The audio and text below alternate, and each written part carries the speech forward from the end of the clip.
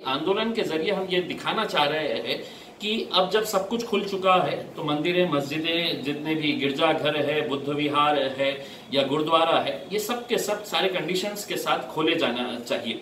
नाही मंदिरात जाऊन तो कोण जाणार मंदिरात जाऊन मंदिरात जाऊन तो आत कसा घुसतो?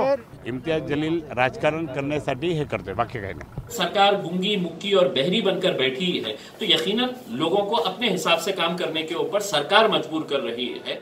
मंदिर जब खुलती है तो मंदिर के पीछे काम करने वाले चाहे वो फूल बेचने वाला हो नारियल बेचने वाला हो या मंदिर की जितने भी पूजा की सामग्री बेचने वाला हो उसके भी रोजी रोटी का सवाल है। अरे कसं तो कोण आम्ही उघडू ना मंदिर?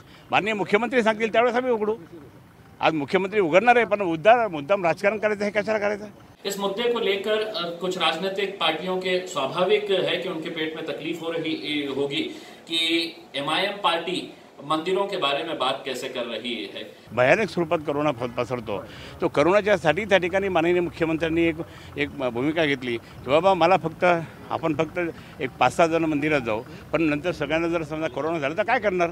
हम एक अच्छे काम के लिए आगे बढ़े हैं और उस अच्छे काम को अंजाम देने के लिए यकीनन हम हमारी तरफ़ से जो भी हो सकता है हम वो कर रहे हैं। कायदा सुव्यवस्था बिघडण्यासाठी मी आधीच पोलीस कमिशनरना आधी फ़ोन करून सांगितलं की या एस आयचा गडबड करा करके आणि इथे आपल्या संभाजी संभाजीनगर शहरामध्ये हे हटकून त्या ठिकाणी राजकारण खराब करण्याचा हा प्रयत्न यांचा आहे. क्योंकि पुलिस ने हमें बहुत ज़्यादा रिक्वेस्ट किया और हम भी जानते हैं कि हिंदू भाइयों के लिए आज गणेश विसर्जन का दिन बहुत मायने रखता है।